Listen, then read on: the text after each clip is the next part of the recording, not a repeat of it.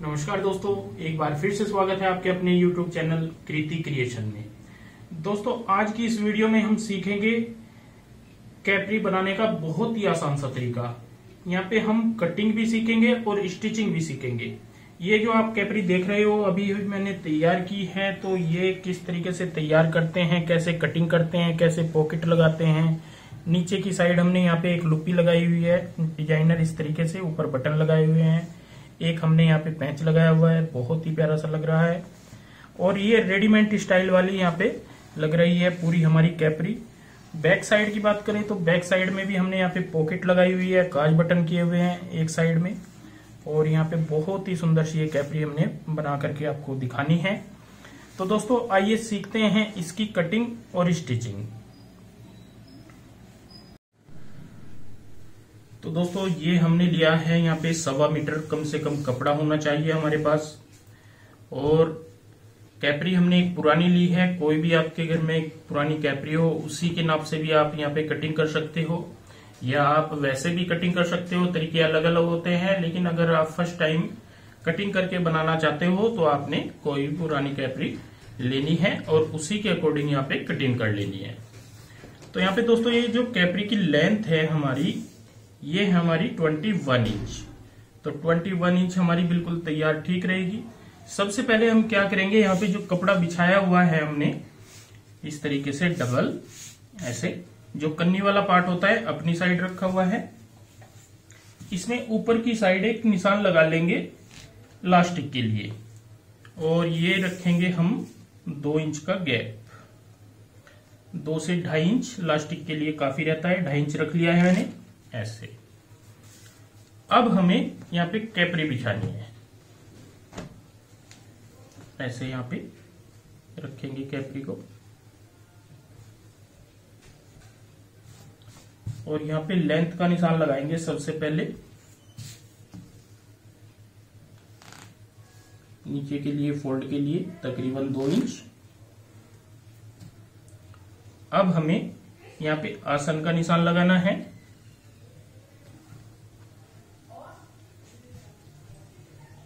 यहाँ पे हमारा साइज़ भी आ जाएगा और आसन का निशान भी आ जाएगा, ये वाला।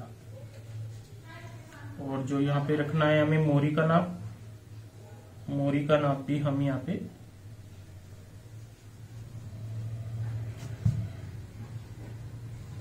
इसी तरीके से रखेंगे। ये हमारा मोरी का नाप आ जाएगा। अब हम इन निशानों पे भी यहाँ पे सबसे पहले सीधा लगाएँगे निशान, ये वाला, ऐसे। और यहाँ से हम तकरीबन दो से सवा दो इंच लेंगे। एक निशान यहाँ पे सीधा आता है, ऐसे।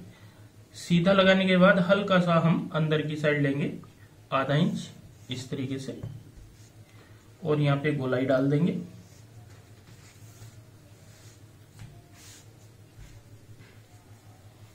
अब हम यहाँ पे सेफ़ पट्टी की मदद से ऐसे निशान लगाएँगे। इस साइड भी हल्की सी हमारी सेव आएगी। और यहाँ से सीधा रखेंगे। हमें पॉकेट भी लगानी है।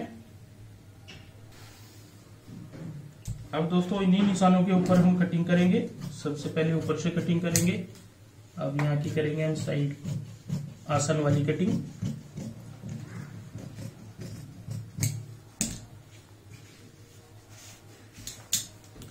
और यहाँ पे सीधी कटिंग करेंगे। हल्की सी सेप जैसे थी हमारी, इस तरीके से सेप देंगे यहाँ पे।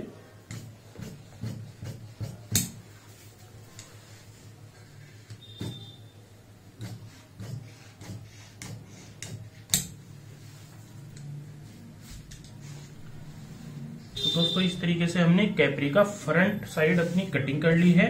अब हमें बैक साइड कटिंग करनी है। बैक साइड कटिंग करने के लिए भी हमने सेम इसी तरीके से आगे की साइड ये कपड़ा बिछा लेना है। और यहाँ पे रखना है फ्रंट ऐसे अब हमें एक निशान यहाँ पे आगे की साइड ऐसे बढ़ाना है, एक मोरी वाले पॉइंट पे ऐसे बढ़ाना है। और यहाँ पे आपने देखना है, ये लेंगे हम यहाँ पे डेढ़ इंच। और यहाँ पे लेंगे हम सवा दो इंच। और इस पॉइंट से यहाँ पे इस तरीके से हम हल्का सा क्रॉस करते हुए निशान लगा लेंगे।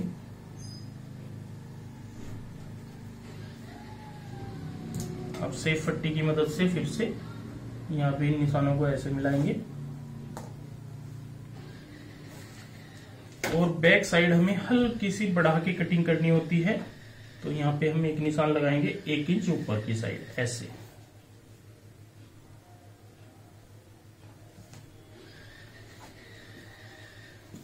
ये तरीका होता है आसान तरीका बिल्कुल कटिंग करने का, जो कि बिल्कुल परफेक्ट आएगी, कोई दिक्कत भी नहीं आएगी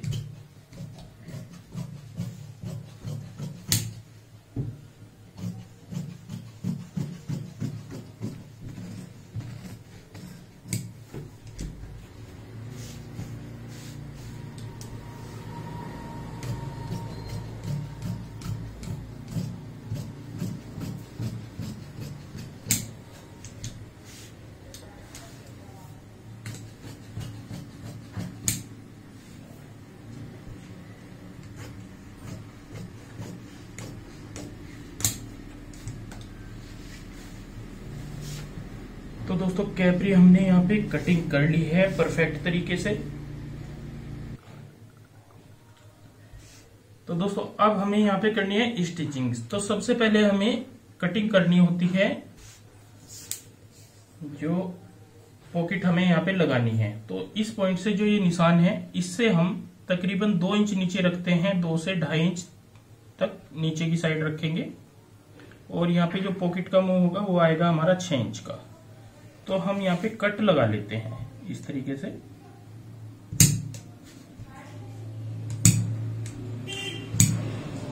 मैंने तकरीबन साढ़े छह इंच कर दिया है पॉकेट का मुँह। अब हमें पॉकेट कटिंग करनी है तो हमने एक पीस लेना है। इस तरीके से इसको डबल कर लेना है। एक साइड से आएगा ये ऊपर से छह इंच, एक साइड से आएगा ये हमारा साढ़े छह से सात इंच। और यहाँ पे इसमें सेव ऐसी डाल देंगे।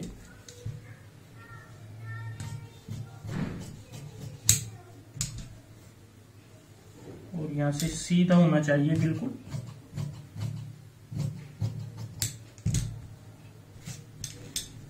तो ये हमारी यहाँ पे पॉकेट आ जाएगी।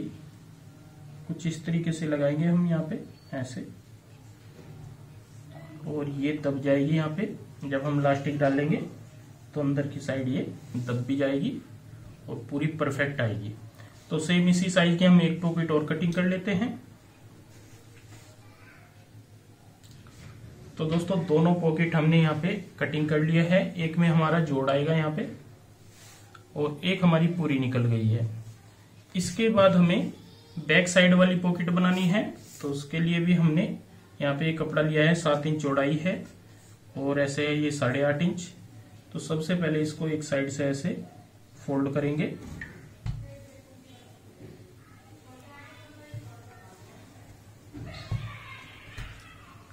अब इसको जितना भी आपने तैयार रखना होता है, उतना फोल्ड करते हुए पॉकेट को तैयार करें।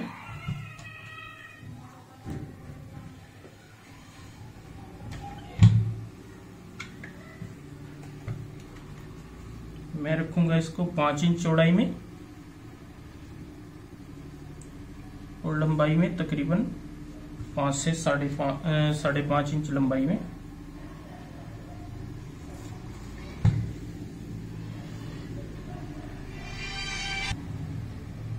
नीचे से भी फोल्ड कर लेंगे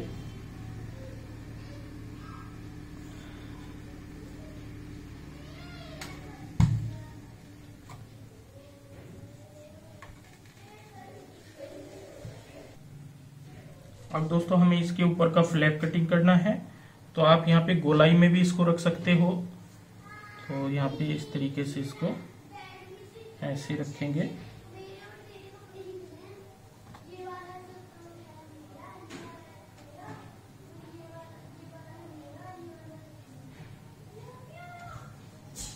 तरीके से कटिंग कर लेंगे।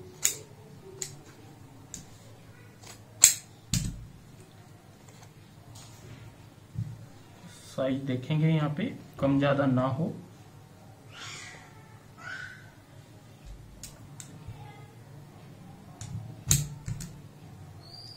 इसको भी हम कपड़े के ऊपर पेस्ट कर लेते हैं।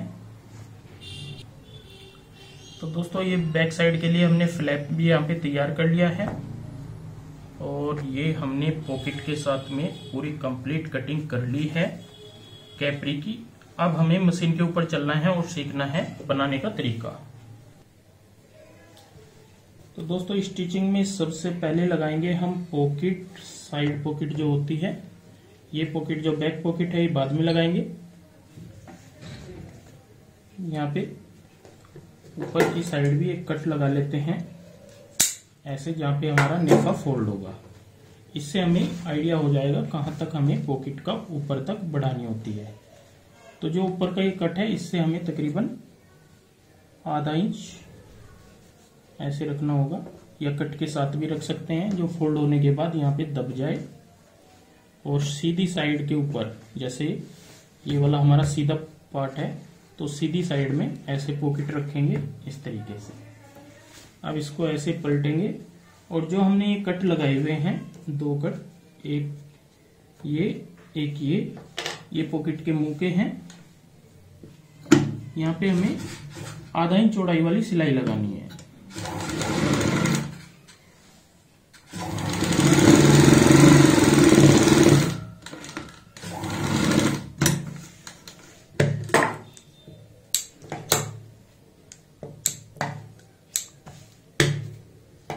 अब हम यहाँ पे इन्हीं के साथ में कट लगा देंगे ऐसे। ध्यान रहे, सिलाई ना कटे। बिल्कुल सिलाई के नज़दीक तक कट लगाना है और सिलाई भी नहीं कटनी चाहिए। अब हम ऐसे पलटेंगे पॉकेट को इस तरीके से। तो यहाँ पे ये हमारे कट ऐसे बाहर की बाहर की साइड ऐसे आ जाएँगे और ये हमारा पार्ट ऐसे बन जाएगा यहाँ पे इस तरीके से। अब हमें यहाँ पे सिलाई लगानी है। एक पैर चौड़ाई वाली।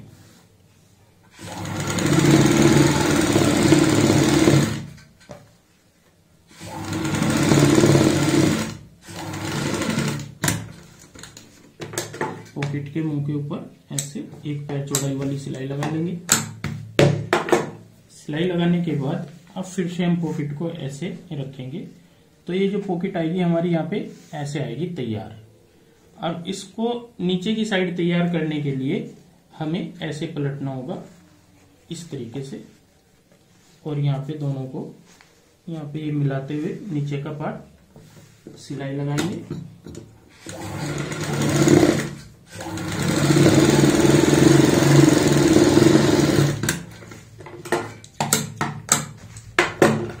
इसको पलट लेंगे।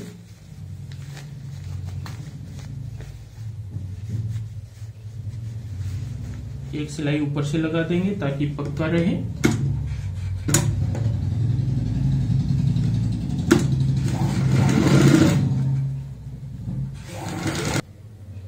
ऊपर से भी हमने सिलाई लगा ली है। अब हम यहाँ पे इसको देखेंगे। पॉकेट हमारी किस शेप में तैयार आती है। तो ऐसे रखेंगे यहाँ पे, इस तरीके से।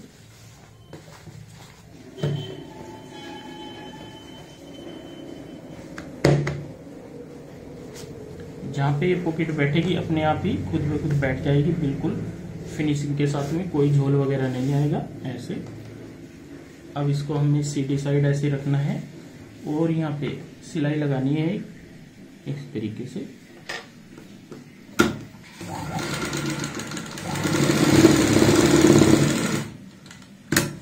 यहाँ पे हम टांगी भी बांधेंगे। इससे पॉकेट का मुँह जो है वो खुलता नहीं है, फटता नहीं है। इस तरीके की हमें टांगी बांधनी होती है।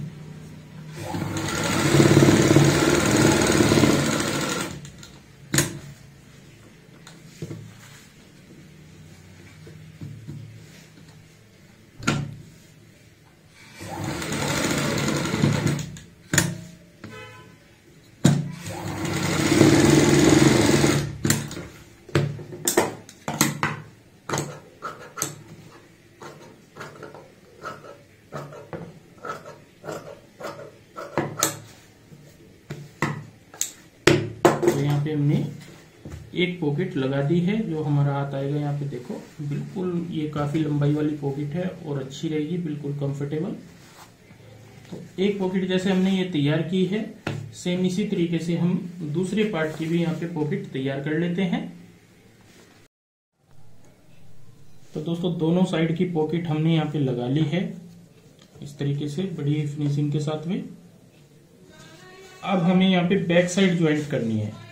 तो एक साइड में यहाँ पे ये बैक साइड होगी और दूसरी साइड की ये वाली होगी। तो इनको साइड की सिलाई से जोड़ लेते हैं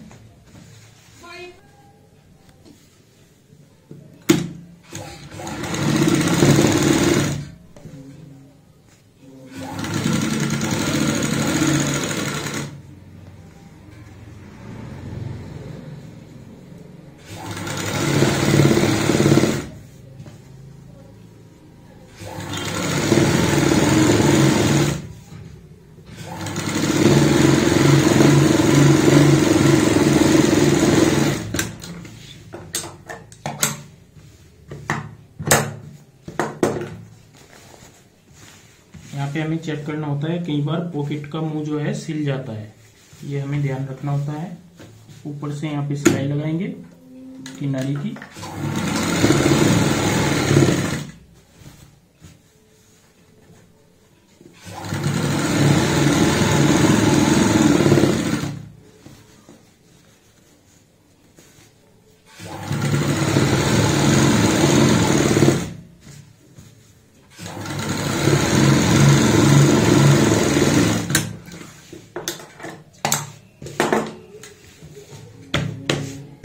अब दोस्तों हमने यहाँ के लिए एक डिज़ाइनर पट्टी भी बनाई हुई है। तो यहाँ पे मोरी के लिए हमने इस तरीके से ये लुप्पी बनाई हुई है, जो कि बहुत ही प्यारी लगती है। ये हम यहाँ पे सेंटर पॉइंट में लगाते हैं ऐसे। और एक पैर चौड़ाई वाली सिलाई से लगाएँगे।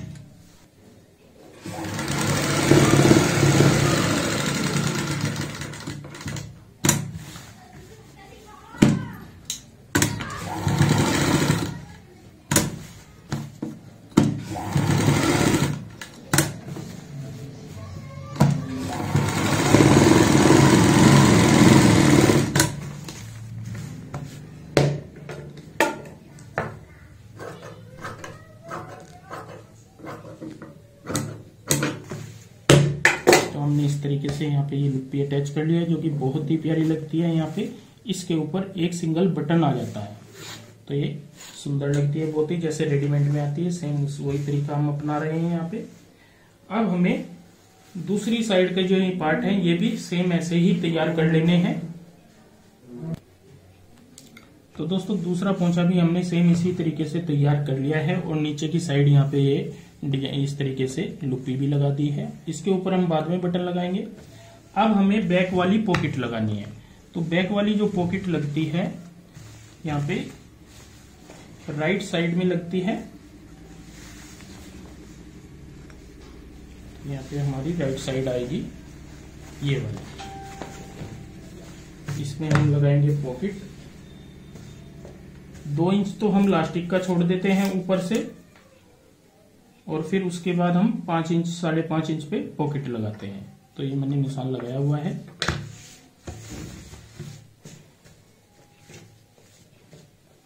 यहाँ पे इस तरीके से रखेंगे पॉकेट को। और साइड से तकरीबन ढाई इंच रखेंगे।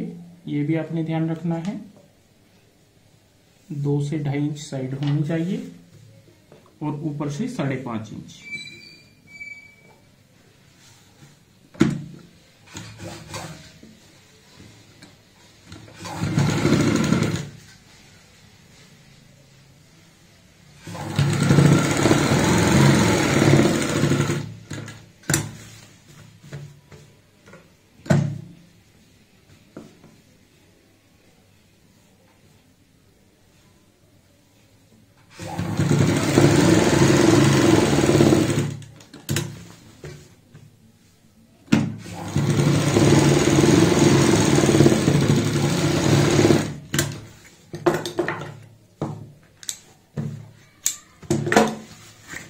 पॉकेट लगाने के बाद अब हमें लगाना है यहाँ पे फ्लैप ऊपर की साथ ऊपर की साइड तो ये हम चेक कर लेते हैं, बिल्कुल बराबर है, बिल्कुल सही आएगा। और यहाँ पे इस तरीके से रखेंगे इसको। सिलाई लगाएँगे बुकरम के साथ साथ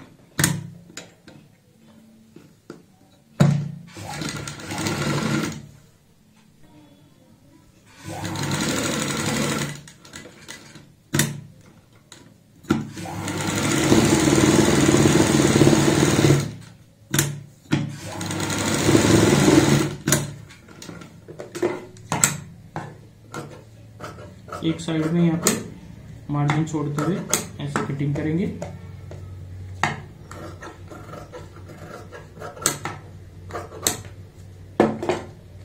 अब हम फ्लैग को यहाँ पे पलट लेंगे इसको। नोक निकाल लेंगे अच्छे से।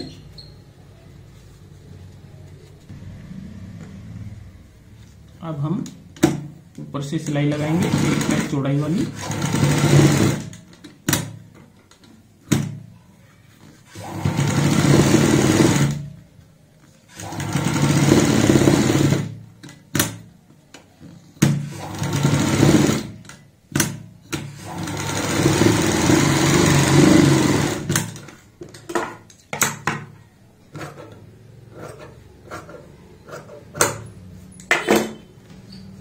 सेंटर पॉइंट बनाएँगे।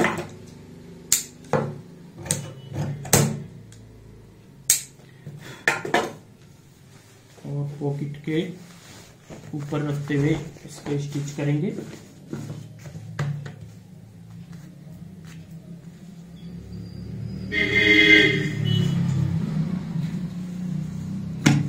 एक पैर चौड़ाई वाली सिलाई लगाएँगे यहाँ पे भी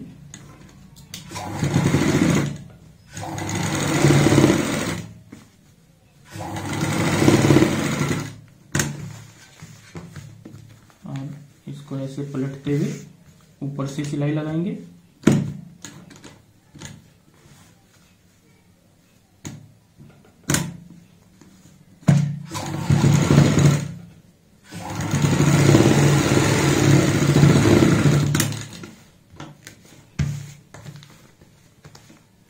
इस तरीके से हमने यहाँ पे पॉकेट अपनी कंप्लीट कर ली है। ये हमारा कुछ इस तरीके से आएगा। तो अब हमें यहाँ पे जैसे नॉर्मल तरीके से सिलाई की जाती है। मैं आपको यहाँ पे समझा दूँ, क्योंकि यही चीज़ मेन थी हमारी, जो हमने अब तक का काम किया है। अब हमें सबसे पहले तो यहाँ पे आसन ज्वाइंट करने हैं। दोनों साइड के आसन जोड़ेंगे, इस साइड का भी और इस साइड का भी। फिर उसके बाद हम ये साइड जोड़ेंगे, नीचे से फोल्ड करेंगे, ऊपर हम यहाँ पे लास्टिक डालेंगे।